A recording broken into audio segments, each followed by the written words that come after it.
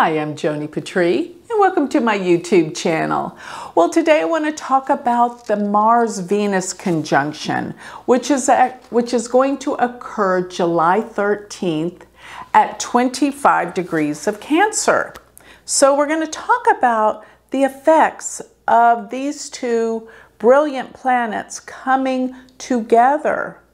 But before I do, I always want to remind everyone to go to my website and sign up for my free newsletter, which is galacticcenter.org. And while you're there, check out my beautiful spiritual jewelry where I have prayer malas and earrings, all to remind us of our spiritual purpose.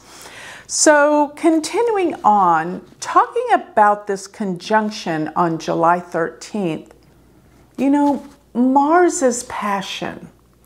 And Mars is fiery, and Mars is simply that, that essence of energy, a ball of fire.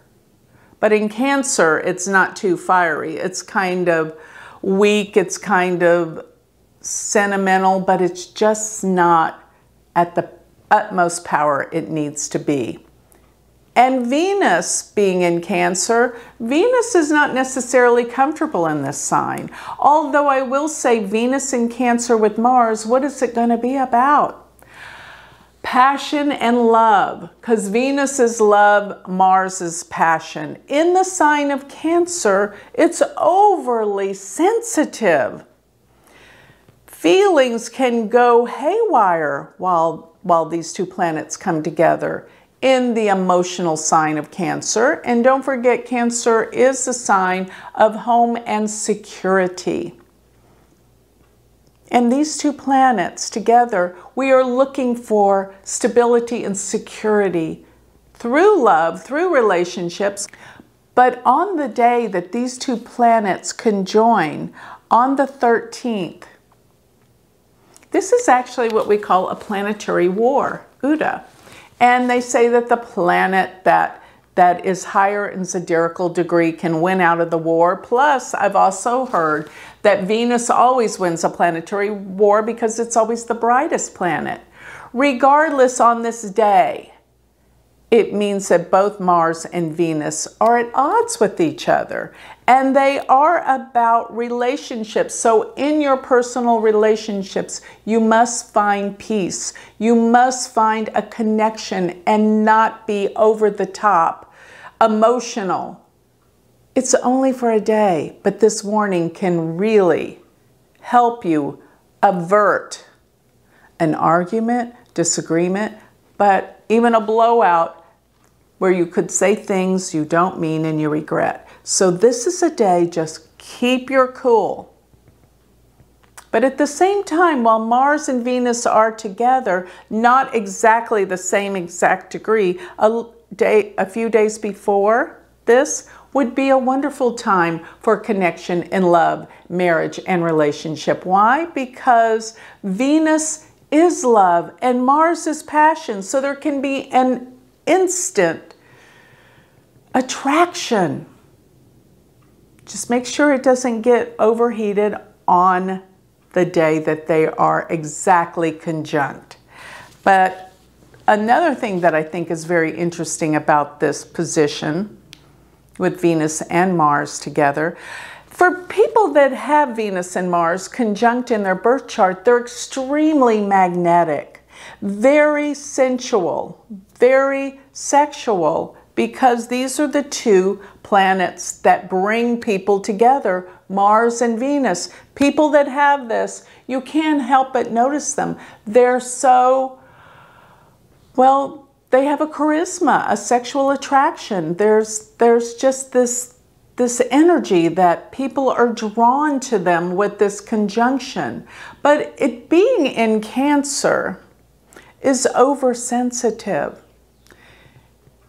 And people with it in Cancer have to realize that other people's have, have feelings too, not just them, because they consider how they feel, thinking their feelings are more important than others. And this is something that, that on this day, When we stand back and realize this, we will avert so many problems. But going to the nakshatra that they sit in, it's Aslesha. And this is a very powerful nakshatra. The symbol is a snake. And yes, a lot of people refer to it as being sneaky, but I have heard that Aslesha is just a wonderful nakshatra for business and those that operate in the business world. It gives a great deal of intellect and intelligence. Aslesha is ruled by Mercury. So it is this profound, deep thought process.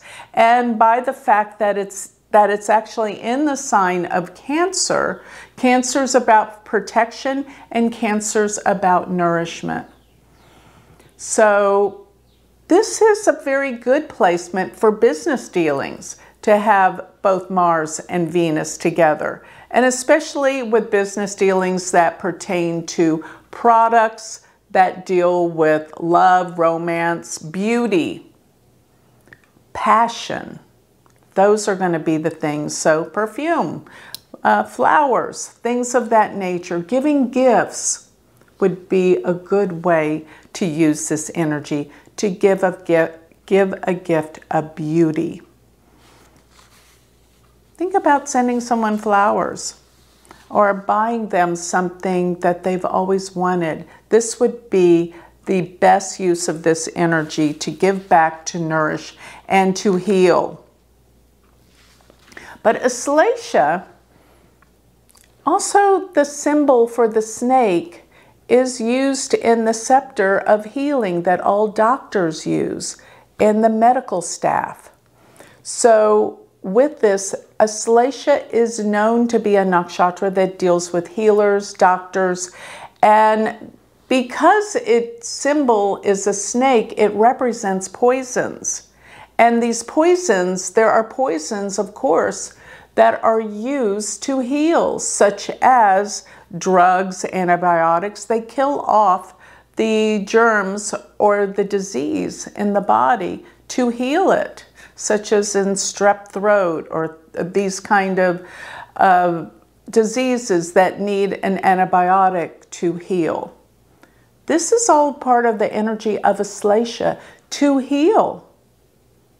And even homeopathic remedies and medicines, they take very, very low, low doses of a poison, and this kicks in the immune system to heal. So you see, during this time that we have Venus and Mars come together, these powerful planets, they can heal. It can even heal issues around love and relationships, but maybe there's some discoveries coming about in the realm of healing with energy and emotion. But you know what I've always, always said? There is nothing that heals more than the power of love.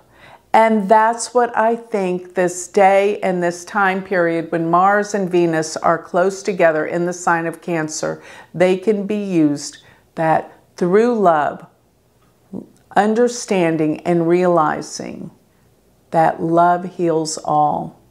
So use this time frame intelligently and powerfully and give love. Send someone a card of love and appreciation, and you will see that it can be life changing. So, with that, I'd like to close. If you would like more information on me, always remember to go to my website, which is galacticcenter.org.